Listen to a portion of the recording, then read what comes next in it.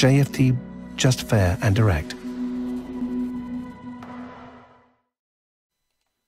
Good morning everyone and welcome to JFD's daily market review for December the 8th. I am Charalambos Pissouros, Senior Market Analyst here at JFD and I will talk about yesterday's main market movers, what's my opinion moving ahead, what are today's important events and how they could affect the markets. But before we start, let's read our disclaimer. The content we produce does not constitute investment advice or investment recommendation, should not be considered as such, and does not in any way constitute an invitation to acquire any financial instrument or product. I will leave you a few seconds to read the rest and then we will jump into our analysis.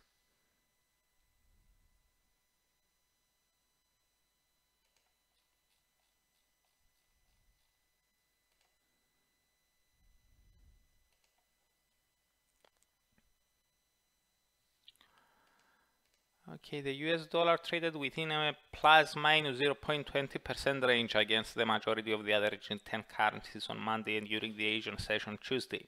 It lost uh, more only against NOK and SEK, while it gained more only versus uh, the British pound.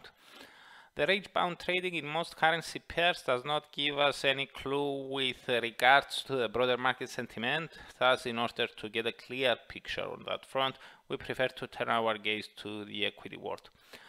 Here, most uh, major EU and US indices closed in the red. The exceptions were UK's FTSE 100 and US's Nasdaq, with uh, the latter hitting a fresh record high.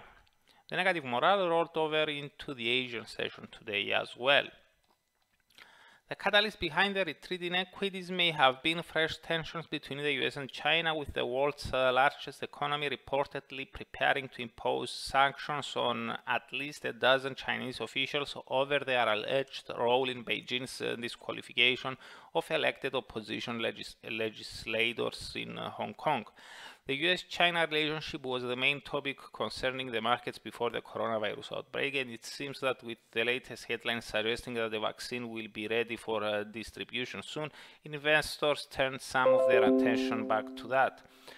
That said, our own view is that with the steep recovery we saw in November, investors may be looking for reasons to lock some profits before the end of the year. We stick to our guns that the vaccine pro prospects combined with a softer handling of the US-China relations by the new US President Joe Biden are likely to keep sentiment supported in the foreseeable future. Thus, we would treat yesterday's slide or any extensions of it as a corrective phase.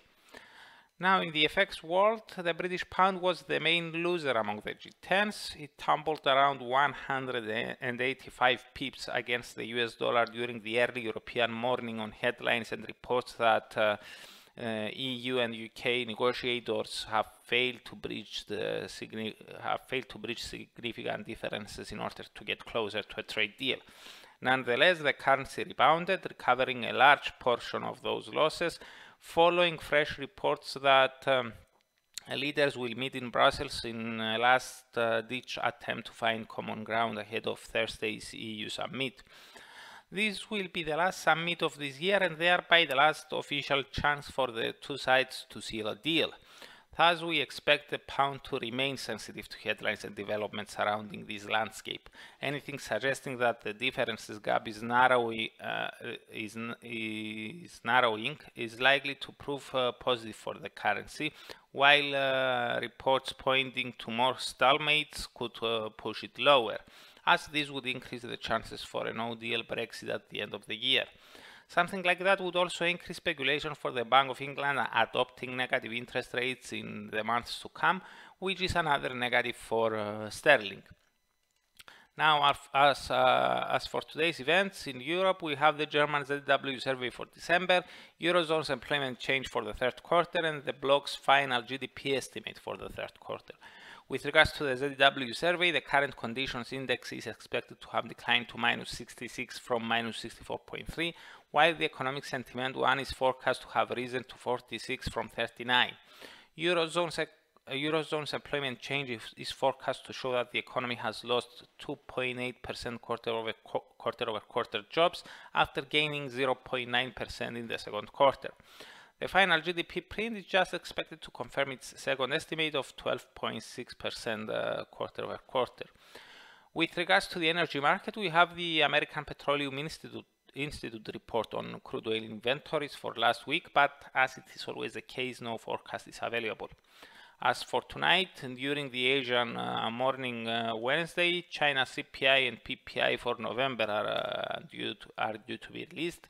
The CPI is expected to have risen to minus 0.8 to 0. Point, uh, excuse me to 0.8 percent year over year from 0.5 percent, while the PPI one is anticipated to have inched up to minus 1.8 percent year over year from minus 2.1 percent.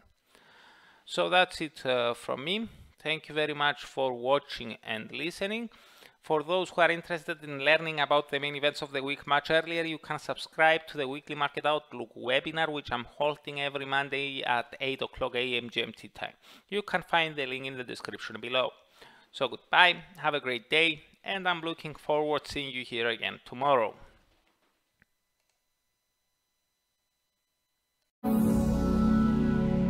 JFD, just fair and direct.